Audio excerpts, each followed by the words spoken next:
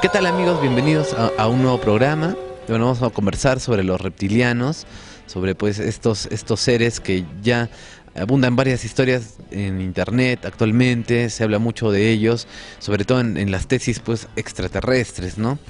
Como un posible origen pues de estos seres se atribuye que son reptiles, pero vamos a conversar hoy día con Roosevelt, que ya lo hemos tenido en otra oportunidad aquí en el programa, eh, hablando pues de otro tema, pero hoy vamos a conversar sobre este en particular, sobre sus investigaciones. Entonces, aquí los dejo con, con Roosevelt, vamos a estar conversando, ha preparado algunas, algunas interesantes teorías eh, y puntos para conversar hoy día. ¿Cómo estás Roosevelt? Bien- Bienvenido al programa y, y ¿qué tal? Cuéntanos, cuéntanos este, un poco sobre ti. Soy ¿no? investigador de la cultura andina y, y este, y este día les voy a hablar sobre los, los reptilianos y los felinoides. Eh, Qué interesante. Bueno, vamos con la primera pregunta, ¿no? Para empezar, ¿no? Cuéntanos sobre los quiénes son estos reptilianos, ¿no? ¿Cómo se les puede entender estos seres? Ya bien, según los conspiracionistas, los reptilianos son una supuesta raza extraterrestre que, que domina, o sea, que ha dominado al mundo desde, desde tiempos muy antiguos. Y estos seres aparecen en las mitologías de varias culturas antiguas. En los sumerios se les conoce como los Anunnaki, en los africanos se les conoce como los Dogon, en Japón se les conoce como los Kappa y en, los hindúes se conoce como los Naga y en, y en México los conocen como los Cocoa. Y estos, estos, estos, estos seres tienen ciertas características que los diferencian, ¿no? Para empezar, o sea, obviamente son de experiencia reptil. Y también están asociados al, al- agua. El agua es el, representa el mundo, el, el inframundo, el mundo oculto. Para empezar tenemos aquí a, a la serpiente mítica Hidra, la- eh, que es una serpiente griega, que la palabra Hidra significa, en- o, sea, de esta palabra se, se origina la palabra hi- hi- hidrógeno, que es agua. En maya tenemos la palabra Cuatl. Cuatl en náhuatl significa, mm, significa, significa serpiente, pero esta palabra se puede descomponer de Koa, que es serpiente en, en Aymara, y Atel, que es agua en náhuatl. También tenemos el dragón mítico japonés Sheiryu, que, ah, no, que diga que se llama Ameriu.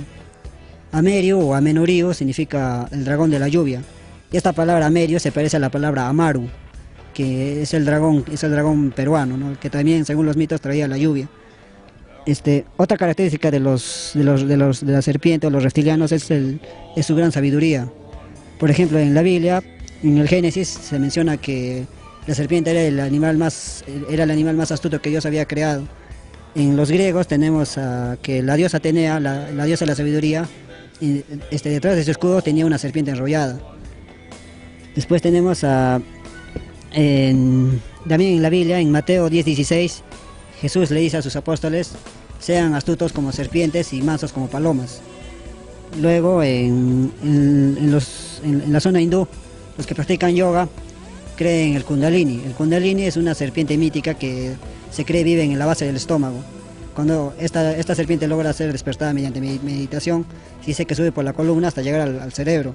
Y cuando llega ahí dice que se- despierta un gran conocimiento, un, conocimiento casi divino.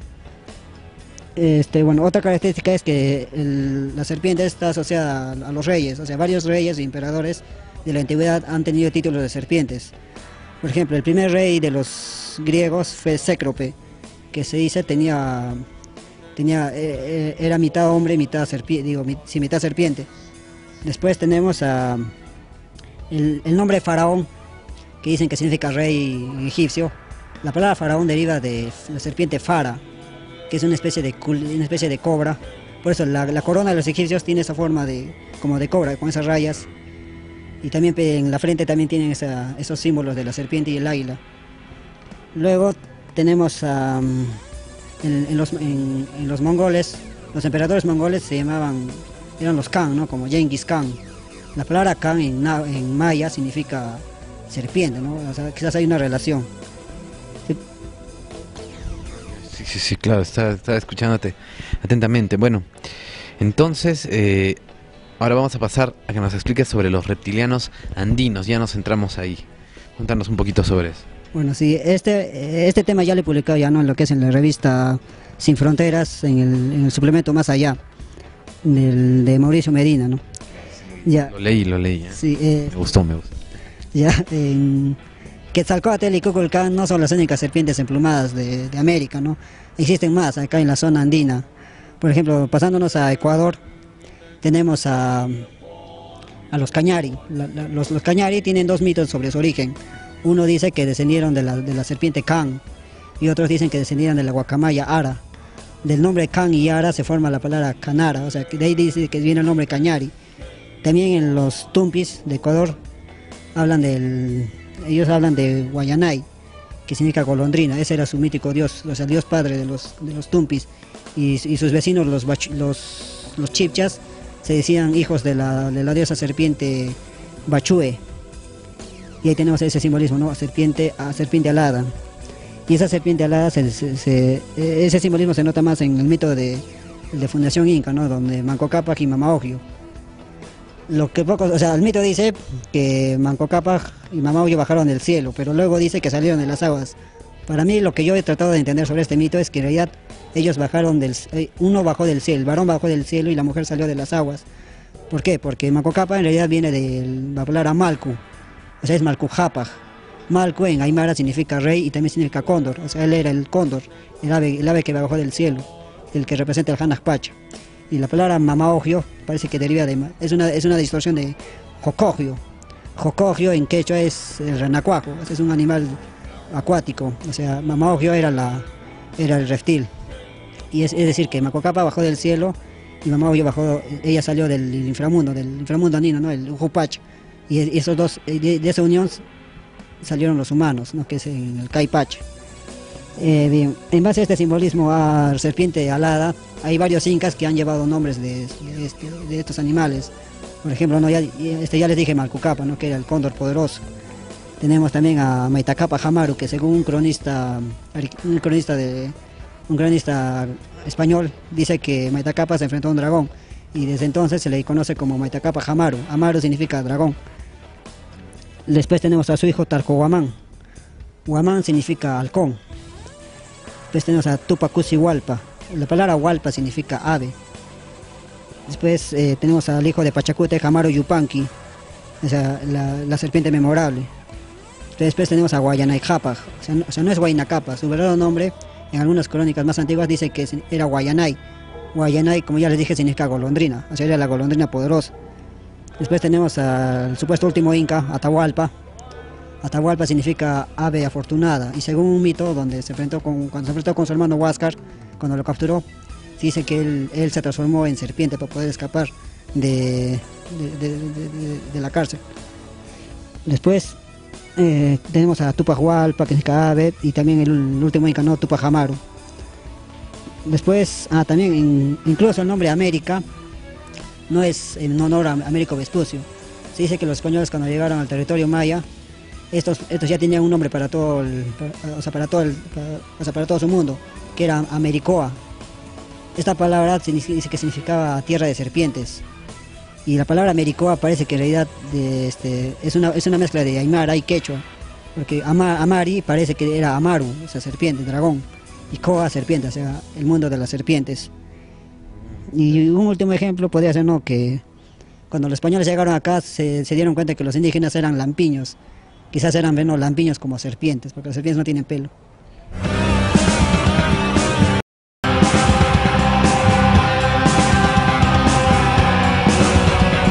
mira, bueno, y acá yo te comento también que en algún momento me topé con una información que estaba en las crónicas de mm, em, Ventura Trabada y Córdoba. Él, hablaba que precisamente en la erupción del volcán Huaynaputina se le aparecen pues a unos pobladores, bueno, en realidad al, mm, sacerdote de la zona, de, estamos hablando acá del, del Huaynaputina, dice que habían como siete pueblos.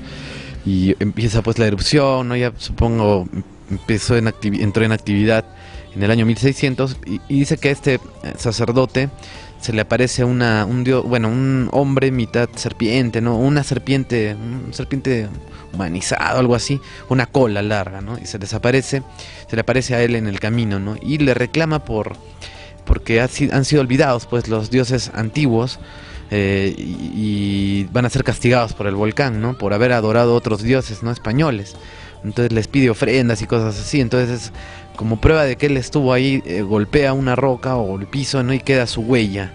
Entonces la gente al ver pues la huella pues de la cola ahí se asusta un poco, empiezan a hacer pues los rituales, pero ya es muy tarde y de pronto pues de los siete pueblos que estaban alrededor de los conos, pues cinco desaparecen, es lo que cuentan, y algunos los que están en la parte más lejana logran huir. Pero es, es interesante cómo se asocia pues la llegada de este emisario de, del interior de la Tierra prácticamente, mandando el mensaje que ya la Tierra pues se los va, les va a castigar de alguna manera. Y sale pues me imagino del cráter del volcán de adentro. Y, y, cuando estuve por Winas me comentaban mucho sobre los duendes no que a lo mejor pues algunas personas podrían pensar que son duendes yo, y, de repente en realidad eran seres pues del inframundo no podrían ser pues también reptilianos no sé. Pero ahí pues te comentaba no bueno pasamos pues a, otro tema no continuando con el tema no ahora háblanos sobre los felinoides no vamos a, ver sobre estos felinos este, bien, este, seguramente pocos conocen sobre los felinos, ¿no? Porque los reptilianos son más populares, son más conocidos, pero los felinoides posiblemente son más siniestros que los, que los reptilianos. A ver, ya, los, los felinoides también son una supuesta raza extraterrestre que vino a la Tierra y sus este, como por ejemplo tenemos ¿no? los los Mao egipcios, los Skokat nórdicos, los Rakasha hindúes, los Neko japoneses y los Balanes este, mayas. Las características de estos felinos son las siguientes. Son o están asociados a los dioses. Por ejemplo, ¿no? los, los egipcios adoraban a los gatos, pero también sus dioses tenían cabeza de gato, como la diosa Bastet, Sekhmet, y también el gato solar Muti. Este, también en, en los mitos nórdicos, dos gatos este, tiraban de la, este, de la carroza de la carroza voladora de, de la diosa Freya que era la diosa de la luna. En los mitos griegos, Artemisa creó al gato en burla a su hermano Apolo, que creó al, león. Y en un mito no, en un mito no cristiano se dice que, que en, el, arca de Noé dice que estaban abundando los ratones. Y Noé le rezó a Dios pidiéndole que envíe, un, envíe algo para que este se deshaga de los, de los ratones. En eso Dios le dice que sobe tres veces la melena del león. Y cuando hace eso, el, león estornuda, estornuda y de sus, dos fosas nasales salen dos gatos. Luego, otra característica es que toman forma humana. En los mitos japoneses, el Bakeneko y el Nekomata son dos gatos monstruosos que toman constantemente toman forma humana, generalmente de mujeres, para así engañar a las personas y matarlas o comérselas. En, en, la, zona de Mesoamérica tenemos a, los nahuales. Los nahuales son unos chamanes que constantemente toman forma de animales y generalmente el animal más, el animal más preferido para tomar es el, jaguar o balam. Y una última característica es que son espías o son guardianes. Por ejemplo, en Egipto la esfinge, este, la esfinge parece estar vigilando algo, parece estar guardando un secreto, porque todos dicen que no, que en la esfinge está el secreto. Por eso hay un, este, no, hay un... Atlántida, creo, ¿no? Algo así. Eh, por eso hay esa creencia, ¿no? De que eh, la esfinge vigila, o sea, o sea, cuando uno se encuentra con la esfinge, dice que la esfinge te va a hacer un, o sea, te va a hacer una, una pregunta, un, un, acertijo y tienes que responder. Después, en la época de los, de los colonos, cuando llegaron a, a Norteamérica, constantemente acusaban a las, mujeres que tenían gatos como brujas, porque se dicen que el diablo tomaba forma de gato para así espiar a los hombres. Y bueno, este tema más que nada lo he publicado en lo que es en la revista Enigmas, donde he hablado de los gatos espías extraterrestres, porque los, felinos parecen que están asociados a los, a los extraterrestres, o sea, una característica especial de los felinos es la observación. Por eso yo he encontrado en otros idiomas, por ejemplo, la palabra micho en castellano significa gato, pero en swahili significa ojo. En la palabra catear significa, o sea, vigilar. Sí, y, eso viene de la palabra cat, que es que es gato en inglés. Ya, sí. Ah, mira, mira. Sí, y tú publicaste en, eh, como dices, en el Enigmas, ¿no? También este artículo, yo lo, yo lo vi. Bueno, es, bueno, sí, pues espeluznante, espeluznante realmente, ¿ah? no sabíamos. Cuéntanos sobre los felinoides andinos. Ahora ya nos centramos en eso. Sí, bueno, esto es más lo que me, esto es lo más lo que hablé en, la revista Anima de Pablo Nicoli. Ya, bueno, en los Andes este, la presencia del gato es más, es, más contundente.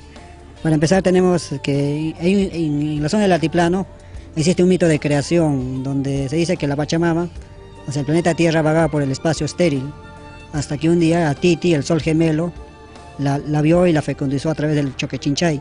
Y choquechinchay significa peltigrillo dorado. Y este, mito, e, este lugar mítico de, eh, donde se fecundó se dice que es el lago Titicaca. Y Titicaca significa, curiosamente, significa pues, la, roca del, este, la roca del felino.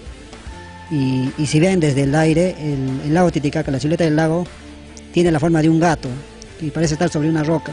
Porque la palabra caca yo la traduzco en realidad como meteoro, porque no es una piedra común y corriente.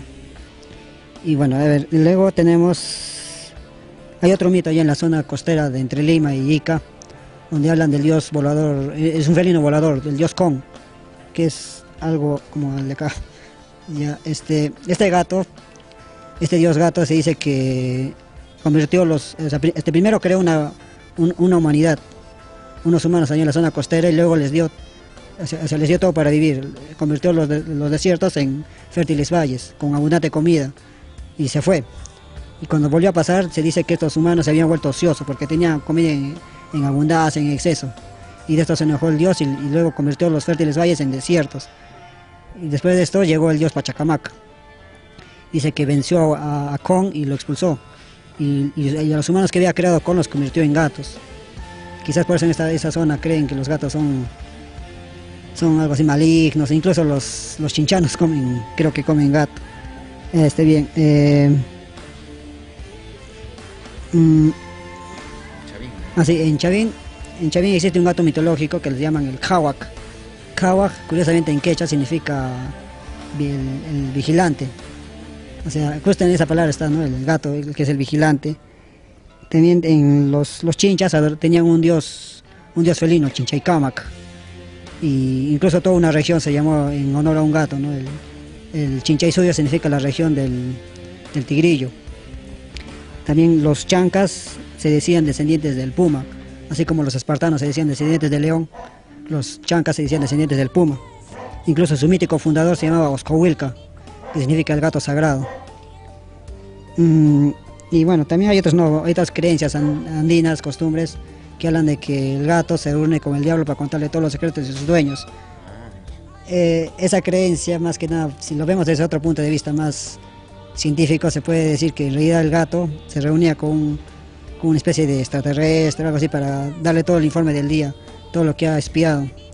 Y por eso algunos creen que cortándole la oreja ya no, ya no va, o sea, no se reunir con el diablo. Quizás sus, orejas son como antenas. y, también, este, por ejemplo, por último, eh, la palabra, justo la palabra Michi, como yo investigo las palabras, la palabra michi significa gato, pero existe un, verbo que es michi, que significa pastear. Dice, un pastor es alguien que vigila. Quizás hasta la misma palabra está que decían que los gatos eran los vigilantes. Ah, y, está por lo que lo que comentábamos, eso de la película de los hombres de negro, ¿te acuerdas? Y que está en el en la revista Enigmas, ¿no? Creo que concluyes también con estas historias que él guardaba, inclusive custodiaba un universo, ¿no? En su, creo que es en Hombres de Negro, no me acuerdo si es uno o dos, ¿no? Sí, es en la 1. En la 1 es, ¿no? Sí, el gato justamente se llamaba Orión, que está asociado en cierta parte con los felinos. Hay varias películas que hablan de eso, ¿no? Como los perros y gatos, como Garfield. Hay un capítulo especialmente de Garfield que me pareció muy curioso, que se llama Solo para gatos. En ese capítulo Garfield dice, este programa solo es para gatos, los demás váyanse. Y espérate, o sea, espera que se vayan los humanos para que recién hablar y ahí empieza a hablar que los gatos llegaron del espacio y toda la cosa. No, no nos olvidemos pues de los Thundercats, ¿no? Que custodiaban pues la esfera de Tondera, ¿no? De, la energía, de, la esfera del poder, ¿no? La gema, la gema, ¿no? Bueno, muy bien. Me decías que estas dos razas parecen estar en guerra, o sea, los gatos y los eh, eh, y, lo, y, las serpientes están en, una guerra. ¿Cómo es, cómo es eso? Sí, como estaba diciendo, estas dos razas parece que son dos razas extraterrestres distintas que llegaron de, dos, de dos zonas o sea, de dos zonas distintas del espacio. Eh, para, empezar, eh, tenemos, no, por ejemplo, en China tenemos el yin yang, que son las dos fuerzas opuestas. Y curiosamente, esas dos fuerzas pues, opuestas están simbolizadas por el tigre y el dragón. Eh, en la Biblia hay una parte donde describen a Jesús que su segunda venida va a ser como león y al diablo generalmente pues, lo asocian a la serpiente. Después en, Mateo 23, 33 Jesús le grita a los levitas raza de víboras. O sea, porque según el investigador Sergio Huanca, dice que la palabra levita de, este, deriva de leviatán, que era una especie de serpiente marina. En Grecia, los atenienses tenían por diosa a Atena, como les dije, que Atena tenía, era la diosa de la sabiduría y estaba asociada a la serpiente. Luego los espartanos eran los guerreros, y ellos se decían descendientes de Hércules, que estaba asociado al león, porque los espartanos se decían descendientes de león. Y estas dos, y, estas dos tribus se enfrentaron constantemente hasta que finalmente ganaron los, los atenienses. Es el enfrentamiento entre felino y serpiente. Eh, después tenemos en, la, prehistoria los dinosaurios eran algo así como reptiles y eran los máximos depredadores. Eran más que los, que los mamíferos que se, que se presentarían a los felinos. ¿no? Pero luego de la destrucción los, los, los, los reptiles pasaron a otro, otro nivel más bajo, o sea, se extinguieron y otros dicen que evolucionaron en aves y ahí es donde ascendió el felino. Eh,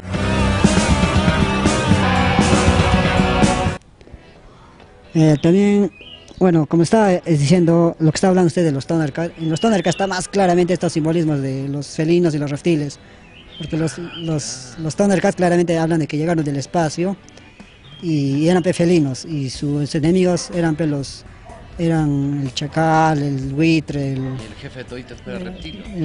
Sí, era un reptiliano, claramente. Y, y como está diciendo, el, el, símbolo... Y el que estaba al servicio de Munra, pues. ¿no? Y Munra, ahí se nota claramente. Ese símbolo, y, y, tiene unas serpientes, pues. Sí, claro. el, símbolo de los Tatarkad era el jaguar y el símbolo de Munra era la serpiente bicéfalo. Ah, y, otro, y otro ejemplo es el de la, la espada del augurio, era un símbolo de los observadores y los felinos son observadores como se podía ver más allá de lo evidente, como dicen, ¿no? Eh, también esto también lo podemos ver en la película Harry Potter. Ustedes se acuerdan que la, la escuela de magia Hogwarts se dividía en cuatro casas, ¿no? Eh, Gryffindor, Slytherin, Ravenclaw y Hufflepuff, pero las dos casas principales eran la de Gryffindor y Slytherin.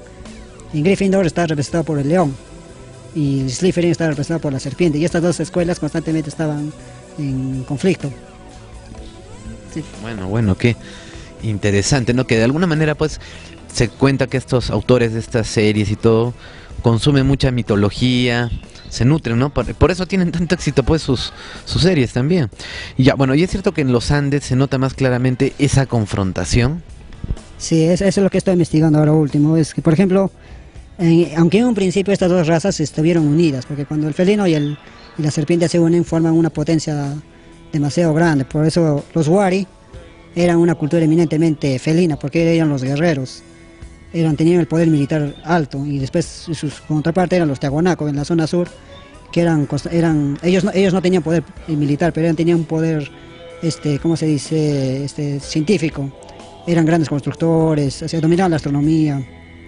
Y cuando estas dos culturas se unieron, se, se, dio el fenómeno que Tiahuanaco-Wari, que dominó, que, o sea, que se convirtió casi en un, gran imperio, ¿no? dominando a los Nazca, los Mochica, se impusieron sobre los demás, pero luego esta, esta, cultura decayó y desde entonces los felinos y, las, serpientes se han enfrentado constantemente. Por ejemplo, cuando ustedes recordaron ¿no? la, la, batalla entre los incas y los chancas, como está diciendo, los chancas eran del, eran, ellos descendían del puma y los incas, como les dije, eran de la serpiente, la serpiente alada. Ahí está claramente el ejemplo. Luego, en la, durante la conquista española, los españoles llegaron con la bandera del león, el león de España. Y, y eso explicaría, quizás sería una teoría para explicar por qué algunas culturas, algunas, algunas etnias andinas se unieron a los españoles. Por ejemplo, se dice que los chinchas traicionaron a los, a los, a los, a los incas porque eran el felino, pese a ser los huancas, los... O sea, hay varias culturas que están asociadas al felino. Eh, luego, ya en la época colonial, durante la revolución del José Gabriel Condorcanqui Tupac Amaru, él era, su nombre, Condorcanqui, significa el cóndor, y su, su, su seudónimo Tupac Amaru es la serpiente, o sea, es la serpiente alada. Y su contraparte era Mateo García Pumacao, o sea, él era el único, el único que pudo detener, porque los españoles no podían detener a Tupac Amaru. Y el único que sabía la forma de detenerlo era, Mateo García Pumacao. Y Pumacao pues, significa el felino. Y, este, y él es el único que sabía cómo detenerlo. Y, eso no solo, y eso no solo va por el nombre, no porque sea Puma y Amaru, sino porque Pumacao había nacido en la zona de Chincheros y el Chincheros pertenece al Chinchaysuyo, la región del Tigrillo. Y Tupac Amaru había nacido en Tinta, que es la región del Collasuyo, la región de la serpiente. Y hay una y ahí está la rivalidad entre, entre, entre felinos y serpientes. Si es que Tupac Amaru hubiera nacido en cualquier otra región, quizás cabo le hubiera ayudado. Luego, mm, bueno, como siguiendo con, según mi, según mi amigo, el investigador Sergio Huanca, él, él, descubrió que existen dos danzas, la danza de los felinos y la danza de las serpientes. La danza de los felinos sería la danza de las tijeras, porque si se dan cuenta cómo son las danzas de las tijeras, son, son danzas acrobáticas, son como movimientos felinos, son movimientos rudos, así guerreros, y las tijeras parecen evocar a las garras, y en sus trajes, en su vestimenta, nunca usan serpientes, solo usan atributos del sol, atributos felinos, como hormigas, arañas, gatos. Y, esa danza solo se, eh, y esta danza solo se danza en el norte, en la zona norte, nunca en, la zona sur. En Bolivia, en Puno no hay danzantes de tijera. Y su contraparte es la, la morenada. La morenada es una danza del altiplano, solo en el altiplano se da. Y esa danza son así movimientos ondulatorios, o sea, como si fuera una serpiente, ¿no? Y, en, su vestimenta los, de la morenada usan pues, serpientes, sapos, lagartos. Eh, luego tenemos a, acá en Arequipa existen esos dos linajes, en la zona de Chivay existen dos culturas, los cabana y los coyagua. La palabra cabana deriva de los cahuana, o sea, los observadores, es el atributo de los felinos, ellos eran los felinos. Y después tenemos los coyaguas, dicen que deriva de la palabra coyaguagua, hijos de la serpiente. Y, hay otra característica más todavía, los cabanas, dice que se deformaban el cráneo en forma mesocefálica, o sea, se achataban el cráneo, porque dice que según un escritor, creo que era el de la cultura puquina, ¿cómo se llama el escritor? Este, Alneira creo que era algo, él decía que los, e, e, esa deformación era de los guerreros, porque al, disminuir la capacidad cerebral son más fáciles de dominar. Y los, y los se deformaban el, el cráneo en forma en, forma dolicocéfalo, o sea, en forma alargada, porque esa era la, forma de los científicos, de los sacerdotes, porque así se incrementaba la capacidad cerebral. Eh, y por último tenemos a, bueno, los cabán hablaban quechua, que es una lengua de los wari, o sea, de los felinos, y, los, y posiblemente el, la aymara sea la lengua de, los, de las serpientes, porque ese, ese, idioma lo hablaban los aymaras, y la palabra aymara se parece a la palabra amaru, que es serpiente. Y justamente en estos dos idiomas existe una, una palabra en común, que es koa. Koa para los quechas es un gato, un gato volador. Pero para los aymaras la palabra koa es serpiente. Todo lo opuesto. Sí, eso es algo de lo que he podido investigar. Mm. Mira, ahí hay, hay, algo encerrado ahí, ¿eh? Muy bien. Bueno, vamos a, a, la otra parte que es ya la cosmovisión inca, Koa y conclusión. ¿no? estamos entrando allá a la última parte de tu investigación. Entonces, ¿nos puedes explicar mejor estos simbolismos felino, ave, no, felino y ave reptil? Sí, e, esto tiene, nada que, esto, tiene más que ver con lo que son los linajes, porque, a ver, en la cosmovisión andina existen cuatro mundos, ¿no? Y solo se conocen los, los atributos de, de tres. El ojo pacha está asociado al inframundo. O sea, todos los animales que existen en el inframundo están asociados como lo, generalmente son los reptiles, ¿no? como las serpientes, los sapos, los, hasta los peces. El caipacha está representado por el puma, que es un felino, es el, es, es, el atributo del, felino. Luego tenemos el pacha, está representado por las aves, como las águilas y en este caso el cóndor. Este, eh, los tres mundos. Sí, y el pacha es el cuarto mundo, pero aún no sé explicar qué, qué animal representa este, este, este, eh, este cuarto mundo, que hace referencia a otros planetas, otras dimensiones. Eh, bien, eh, los linajes tienen que ver por lo que, o sea, los felinos tienen ciertas características. Los que son de linaje felino podrían haber sido grandes militares, guardias, contadores, o sea, como los Quipucamayoc, porque yo he descubierto que en las crónicas de Guamopoma de Ayala, los, los Quipucamayoc, todos los Quipucamayoc que aparecen en su libro, tienen el nombre Puma. Después, los que son de linaje reptil habrían podido ser los ingenieros, los sacerdotes, como los Guiyajuma, los, los Jamautas, que eran los filósofos, y luego los que son del linaje de las aves, podrían haber sido los, los mensajeros, o sea, porque las, son las críticas de las aves, ¿no? Que el ave eh, vuela y así recorta más el camino. Por eso los chasquis usaban plumas, porque ellos eran los mensajeros. Porque.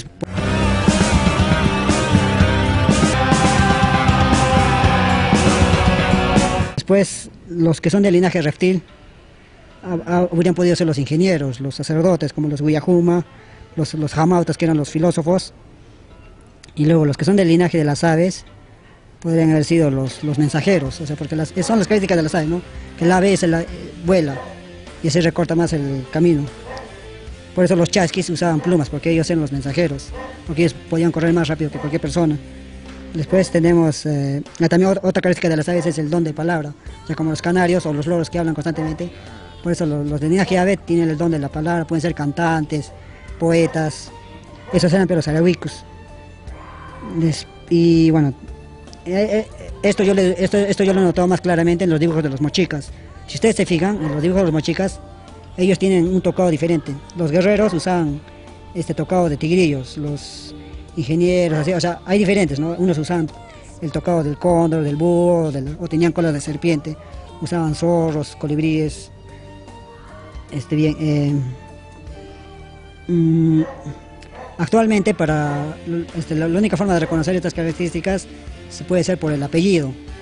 Por eso los que apellidan, los que apellidan, por ejemplo, este, Puma, Osco, Chincha y, o Cabana, son, y son los, son los del linaje felino, porque estas personas, su característica es que son observadores, son, son luchadores, son buenos calculadores, matemáticos, y son o tienen el don de la vista, o sea, se dan cuenta rápidamente los detalles. Los que son del linaje felino generalmente apellidan machaca, que significa, serpiente, o machaguay los que te vienen también Coa, Coila, Coaguila, Coaquira o Amaru. Estas personas generalmente son tranquilos y poseen ciertos dones así como, algo así como magia, ¿no? Pueden leer la coca, tienen el don de la premonición, pueden ver cosas, o sea, son seres especiales y generalmente estas, estas personas están en la zona de Puno. Por eso los mejores chamanes, los mejores, los mejores curanderos están en esa región, porque es la región de la serpiente. Eh, luego los que son de linaje ave generalmente apellidan Mamani, Condori, Guamán, Guamán pues, significa halcón. O también puede significar apellidar Anca, que es águila. Eh, estas personas tienen ¿no? el don de la palabra, o sea, tienen, como dicen en la jerga, tienen buen flor. Y también son muy creativos. Mm, claro, también hay más linajes, ¿no? Estos son los principales, pero hay otros que son el linaje del perro, del gato, del pato, del sapo. Y si en la actualidad pudiéramos volver a reconocer esos linajes, este, las personas podrían trabajar en lo que realmente les gusta. Porque yo he descubierto que los, el, color de los felinos es el rojo y negro, como, como yo, ¿no? Porque yo he descubierto que yo soy del linaje felino. Porque yo soy así bien observador, curioso, no sé la curiosidad del gato. Este, todo lo que me regalan generalmente es rojo y negro, ¿no? Como esta camiseta, como eh, eh, esta mochila me la regalaron en el instituto y es rojo y negro.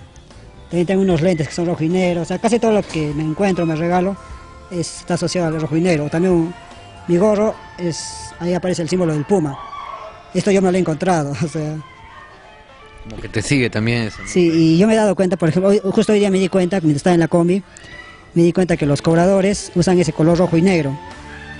O sea, ¿Por qué? Porque ellos son, pues, los, son matemáticos, porque un cobrador tiene que hacer cálculos rápidos, tiene que dar vuelta, tiene que también son observadores porque tienen, tienen que darse cuenta rápidamente quién paga, quién no paga, tienen que ser, tienen que ser bien vivos. Y también este, este, estos colores también se relacionan a los cuatro suyos. El, el está asociado por el, rojo y el collasuyo está relacionado al color blanco y el, y el, blanco está asociado a la serpiente. Por eso los, los, los doctores usan, usan sacos blancos porque el blanco es el color de la serpiente y la medicina está asociada a la serpiente. El símbolo de la serpiente es la, el símbolo de la medicina es una serpiente enroscada. Mm. Ya, bueno, y también, también un, último sería que mi nombre, Pedro, significa piedra, y mi apellido, Mochica, es, digo, digo mi signo Mochica es Pon, que también significa piedra, y la piedra está asociada a la tierra. El símbolo, el símbolo de los felinos era la tierra. O sea, hasta en eso me, como que me persigue ese, ese simbolismo. Ya, perfecto. Sí, sí, sí, muy interesante. Intrigante, como me dices. Dime, ¿todo esto lo, narrarás en tu historieta Kowa? O sea, le vas a, le vas a poner, vas a agregar bastante de esto, de esta filosofía, bueno, de estas... Precisamente el protagonista, Kowa, es, eh, un, él es de linaje felino Por eso le he puesto este traje rojo y negro. Eh, la, historia trata, es- es- está generalmente, está inspirada en, el mito del Koa. Koa es un gato volador andino en la zona quechua que se dice traía la granizada, traía la lluvia, traía los rayos. Este, la, la historia de Koa trata de que él, nació en la zona, en la zona de eh, Chivay, en la zona de Cabana, la zona de los felinos. Y en su pueblo, al ver su verdadero aspecto de mitad gato, mitad, mitad humano, creen que es un demonio andino y lo, quieren expulsar del pueblo. Y su mamá, y su mamá no quiere. O sea, ellos lo querían matar, porque, porque, porque él estaba trayendo desgracias al pueblo. Y así que y su mamá huye con él. y en el camino lo persigue, este, les persigue Huacón. Huacón es un, demonio, no, un demonio, sino un monstruo. O sea, es, es otro felino que quiere, o sea, que quiere atrapar a Koa. Y su mamá se, sacrifica dejándolo a, dejando a Koa en, en el cerro, en el cerro Coropuna, allá por Chuquibamba. Y luego, años después, este, se encontrará con Guara, una, una estudiante de, de arqueología. Junto a esta chica, ellos, ellos van a buscar a la mamá de Koba. Y en el camino van a vivir varias aventuras, varios peligros, pero al final, para encontrar a su mamá, forzosamente va a tener que enfrentarse a su peor pesadilla, que es Huacón. Bueno, este, esta historia está pensada para varios tomos. ¿Quién es pues? Huacón es, es, es como el dios Con, el dios Paracas. Es, es algo así. O sea, o sea, no quiero todavía dar muchos detalles. ¿no? Ah, ok, ya está. O sea, no los quiero spoilear. Ahí lo, ahí lo dejamos. Pero Es interesante. sí, esta historia va a ser bien, bien compleja porque al principio van a pensar, no, esto, es- esto se parece a Dragon Ball, pero como mientras avance la, tienda- mientras avance la, la historia, se van a dar cuenta que esta historieta es resume todo lo que es la cosmovisión andina, todo lo que les he hablado y mucho más. No, y a mí lo que me, me ha impre- impresionado o interesado bastante es lo de los linajes. Pero mm, yo lo que he entendido es que habría un linaje ave, ¿no es cierto? Sí. Linaje reptil linaje, linaje gato. Pero, ¿y qué pasa si los linajes se empiezan a, a mezclar, no? Por ejemplo, se casa un puma con un reptil. O sea, podríamos ya en el Perú los linajes estar mezclados. O, o siempre prevalecerá en ti un linaje. ¿Cómo, ¿Cómo lo explicarías tú eso, menos? Bueno, eso casi, eso casi no se da porque los pobladores netamente andinos tienden a vivir en comunidades. Y por ejemplo, los cabana no se pueden mezclar con los coyagua. Por eso sale el mito eh, del huititi, que, que ellos, ellos sí se querían mezclar, pero la- las reglas dicen que no se deben mezclar. Pero aunque, aunque así fuera, es bien difícil, ¿no? Porque un, uno del linaje felino no se puede, o sea, no se puede llevar bien con uno que sea del linaje serpiente, o viceversa, ¿no? Pero si es que sí se da, también podrían ser de, puede haber cruces, ¿no? El linaje pueden ser pumas aladas, por eso hay serpientes aladas, pumas alados, pero ¿Sería más fuerte ese linaje o podría lograr más cosas? también, pero como en la genética, el cruce de varias, de, de- de varias personas tiende a perderse la, la pureza, por eso en el pasado andino, al- a los que no tenían linaje, se les decía los yanaconas, eso lo me dijo mi amigo Sergio Huanca. Y generalmente esos yanaconas no están acá en Perú. En Perú se ha prevalecido casi la raza pura. Y, generalmente en el extranjero es donde se da ese, ese linaje mezclado, ese cruce, ese los, lo- o sea, los esclavos. Pero no voy a decir los apellidos porque se van, a- se van a sentir mal, de, pero hay apellidos que creen que es un apellido así rimbombante, poderoso, pero no se dan cuenta que esos apellidos generalmente son de esclavos, de sirvientes, y esos no tienen linaje. ¿Y qué más? Eh, Te, iba a preguntar algo más. Eh, hablamos alguna vez también de, mm, por ejemplo, ¿qué pasarían? Ya está bien que no se mezclen, pero sí podrían aliarse, ¿no? Y es lo que tú me decías que si de repente los todos los linajes, o sea, se pudieran aliar, sería una superpotencia también, ¿no? Y, que alguna vez pasó, ¿no? Como ya lo has dicho en la entrevista. Bueno, es posible, ¿no? Por- como el ejemplo de los, te- de cuando se une el felino con la serpiente se crea una, una poderosa fuerza, pero eso casi no se da, ¿no? Y bueno, vamos a estar conversando en otra oportunidad también de otros temas que nos sugieras. Y yo pienso que los televidentes están gratamente eh, sorprendidos con todo lo que dices. Y, y bueno, me han felicitado por el programa anterior, que hemos hablado un poquito del quechua también. De repente hacemos una segunda parte alguna vez. Que de alguna manera la gente no sabía estas cosas, pero de alguna manera también sí las sabía, ¿no? Entonces creo que ayuda a que se reconozca un poco más y se revalore también, ¿no?